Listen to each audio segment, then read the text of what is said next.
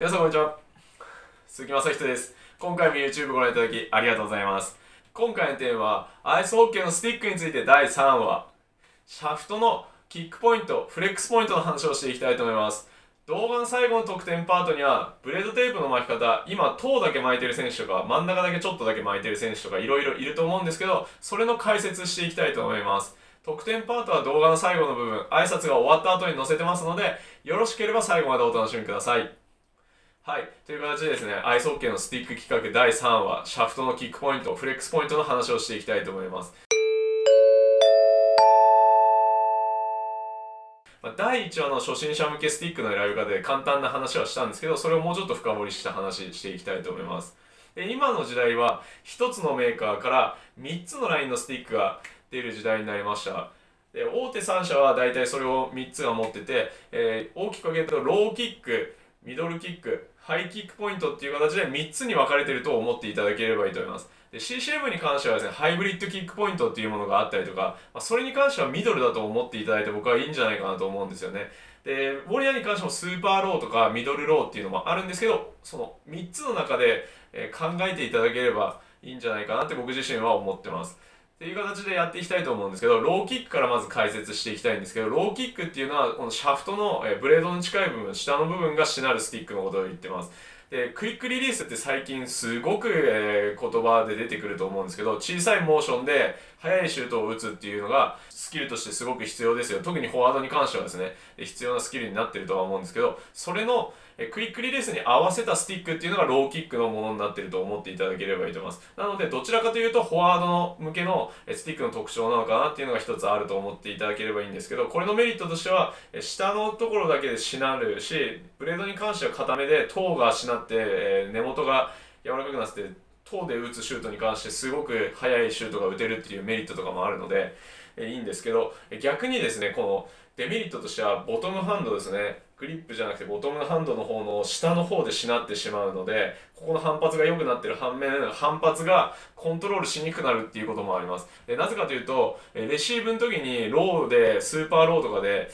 反発してしまうとですね自分のボトムハンドより下下の位置でこうスティックがしなることになってしまうのでコントロール性が失われてしまうんですよね。だそういうデメリットもあるっていうことを一つ覚えておいていただければいいと思います。でもう一つ対極的な側でハイキックポイントっていうスティックがあるんですけどこれはどちらかというとディフェンス向けの、えー、ディフェンス向けにおすすめのスティックっていう形でメーカーは言ってます。でこれは大きく振りかぶって打つスラップショットとかワンタイマーですね。横から来たパックを合わせて打つワンタイマーとかに関してはすごくやりやすいっていうメリットがあります。でもう一つのメリットとしてはさっきローキックのデメリットの話でもしたんですけどレシーブとかそのコントロールする方ですよね。パスとかレシーブとかなんですけど、まあ、レシーブですね特に。に関してローのそのボトムハンドより下でしならなくて上でしなってくれるんでコントロールしやすいっていう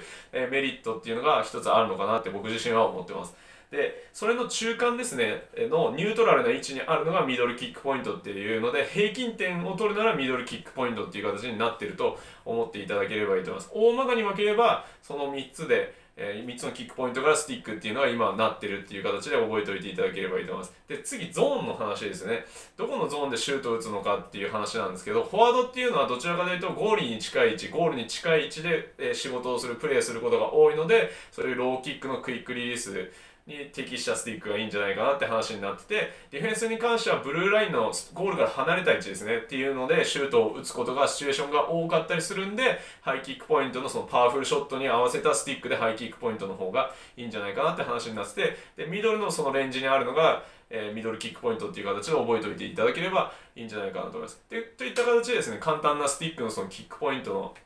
話だったんですけども、えー、まあ、フレックスに関してもですね、最近、えー、すごく柔らかいスティックっていうのがトレンドになってきました。まあ、あの、第1話でも話したんですけど、やっぱり柔らかいスティックっていうのは反発、すごくこう反発するので、そのを使ってムチみたいにこうフレックス使って打つのが、えー、今は、えー、テクノロジーっていうかスティックのテクノロジーを生かした打ち方っていうので、えーあの速いシュートが打てるっていう形になってるんですけど柔らかくすればするほどさっきもブレードの話あブレードじゃないシャフトの話したんですけどえ、柔らかくすればするほど反発する反面コントロール性が失われていくっていうデメリットが発生します。だからその辺のバランスを見てシャフトの柔らかさっていうのも選べばいいと思いますし、えー、一つの基準として選べばいいっていうのは、え、自分の体重ですね。っていうのが何キロなのかっていうのを一つの基準で選べばいいと思います。僕が170センチの80キロっていう体重だったら80っていうフレックスを一つの目安として選んでいけばいいと思いますしそこから自分が好みが硬い方に振るのか柔らかいの方に振るのかっていうていうのもあると思うんですよ。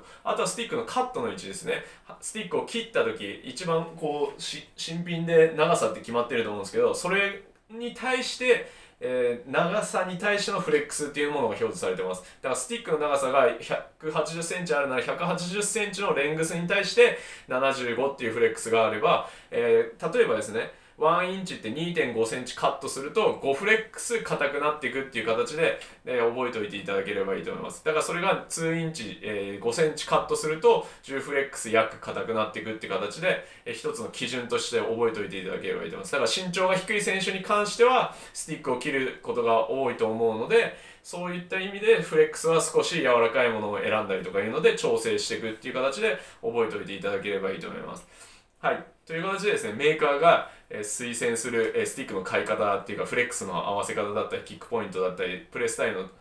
ポジション別プレースタイルの特徴に合わせた、えメーカーが言ってる話だったんですけどここから深掘りした話していきたいと思います。じゃあ本当にメーカーがおすすめしてるフォワードだとローキックポイントがいいのかディフェンスだとハイキックポイントがいいんですかって話をしていきたいと思うんですけど結論から言うとそうとも限らないっていうのが結論です。選手それぞれ好き嫌いっていうのは必ずありますしこれスケートでも言ったんですけど骨格も違えば体重も違うプレスタイルも違うって話をしたんですけども、まあ、それが一番、えー、結論から言ってしまうとそういうことだよっていう話なんですけどじゃあ例え、えー、じゃあどういう選手いますかって話をしていきたいと思います。で、NHL の選手でまず例えていきたいんですけど、パトリック・ケインっていう選手がいます。彼フォワードでポイントもすごく取る選手、器用な選手ですけど、じゃあ彼、えー、ベーパーのスティック、えー、バウアーの契約選手ですよね。で、ベーパーのグラフィックってそのペイント使っペイントされてるスティックを使うんですけどじゃあ彼の本当のスティックの中身何なんですかって言ったら、えー、シュプリームのトータルワンっていうスティック使ってます。でこれトータルワンっていうスティックかなり古い。今10年前ぐらいになっちゃうんじゃないかなもう。っていうスティックを未だに使い続けてると思うんですけどでもあのペイントは最新作のベーパーのペイントを使ってます。これはもう契約選手プロモーションの選手なんで、えー、外見っていうのは変わってます。だからフォワードですしでフレックスっていうのがえー、今95だと思うんですけど僕が2015年のバウアーの R&D センターって研究センターカナダのモントリオールにあるところに行かせていただいた時に置いてあった本物のケインのスティックあるんですけどその時は102っていうフレックスでした。180センチの180センチないんじゃないかな。180センチなくて、えー、と体重でいうとそんなに重くないですよね。でも102っていうフレックス使ってます。だから今の水センチでいうと例えばケインが85キロだったら85っていうフレックスが一つ目安だと思うんですけどでも102っていうフレックスとか今まあ95っていうフレックス使ってますけど、まあ、さらにカットしてたりとかしますしあのキックポイントだって本来メーカーがおすすめするのはローキックポイントだったりとかするのにハイキックポイント使ってたりとかします。だからそういうのって本当に人それぞれプレースタイルによっても違いますし好みによっても違うっていうのであるので一概にですね全部メーカーがおすすめしてるものが自分に合ってるかどうかっていうのはえー、分からないっていうのが一つ、え思っていただければいいと思います。これ、オベチキンの話ももう一つ代表例としてやっていきたいと思うんですけど、えー、当時ですね、2015年の時、まだバウアーの契約選手で、今 CCM ですけど、えー、使ってたんですけど、僕その時質問させてもらって、えー、オベチキンどんなスティック使ってるんですかって話したんですけど、えー、5対5の時は77のフレックス使ってるって言ってました。でも、パワープレイの時は87のフレックス使ってるっていう話してて、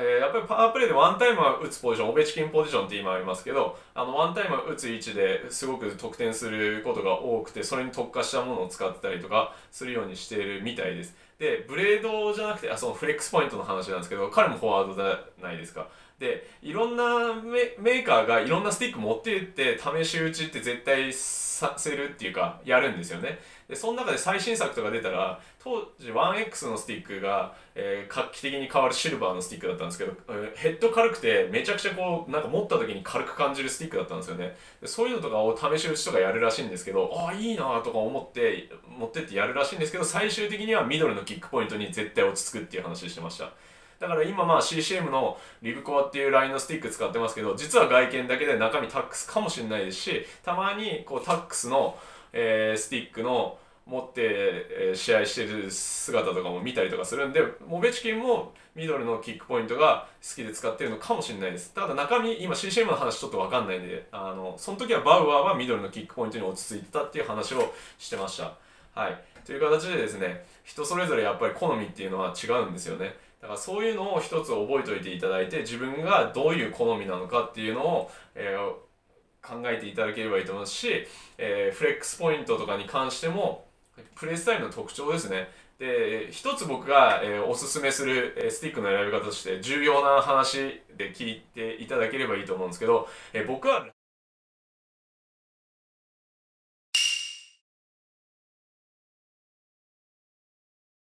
特典パートやっていきたいと思います。え今回質問でですね、スティックテープちょっとしか巻いてない選手とかいろんな巻き方ありますよねっていう質問があったので、それに向けて話をしていきたいと思います。で、第1話で言ったように僕のスティックテープの巻き方でかかとから僕はトゥまで巻くんですけど、えなんでこうしてるかっていうと、一番はこのテープの摩擦を使いたいんですよね。でこの重なってる部分の摩擦っていうのがあると思うんですけど、これがパックを擦れたことによって回転してってくれるんですよね、パックが摩擦で。でそういうのがあるのが一つだと思います。で、なんで最近の選手が少ししかテープ巻かなくなったのかっていう話なんですけど、昔って木のブレードで結構ボロボロになること多かったと思うんですよ。ここがかけてなくなったりとか、塔が、えー、ぶつかって削れて飛んでっちゃうとか、いろいろあったと思うんですけど、で、昔のブレードって、こう、ツヤツヤしてて、なんて言いますかね、何にも加工が入ってなくて、サラサラ、ツルツルしてて摩擦してなかったんですけど、今のバウアーの市販のスティックと同じ見せますけど、ここか、ここからもうすでに、こうザラザラした加工が入ってるじゃないですか。CCM も今もこうやって入ってると思うんですけどこれなんでかっていうとテープ巻かなくてもパック摩擦してくれるんですよね。食いついてくれるんですよちゃんと。でなのでテープ巻かなくてもいいっていうのがあります、えー、でその一つの要素としてクイックリリースのトーンのショットに関しては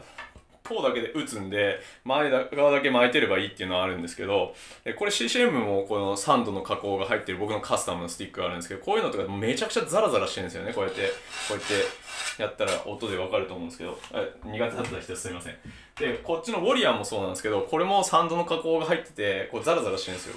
で、まあ、CCM の方が多分ザラザラしてると思うんですけど CCM 市販でもバウアーと同じ加工入っててさらにカスタムでもっともっとザラザラしたのとか加工で入れれると思うんですけどそういう意味でテープ巻かなくてもこのパックが食いつくっていうのが一つ大きな要素として今のスティックはあると思います。だからちょっとしか巻かなくてもえパックあの回転かかるからいいっていうのはあるんですけどでこれ一つそのパック回転させるっていうかスピンさせる一つ大きな要素ってシュートじゃなくてフリップパスだって僕は思っててフリップパスってあのブレード1枚分だけ浮かしてパス味方に通すパスのテクニックとかであるんですけどこれってスピンかかって綺麗にスピンかかってないでこういう風にパックが暴れたりとかするとえー、あレシーバーが取りにくいんですよ。コントロールしにくくなるんですよね。でそうなるといけないんで綺麗にこうピタッて落ちるようなパスにして回転かけてやりたいんですけどそういう時に、えー、ブレードの摩擦がないと綺麗にスピンがかかんなくて綺麗に着氷しなかったりするんでそういうのに関しては、えー、気をつけなきゃいけないのかなと思います、まあ、ワックスつけたりとかもいろいろテープこう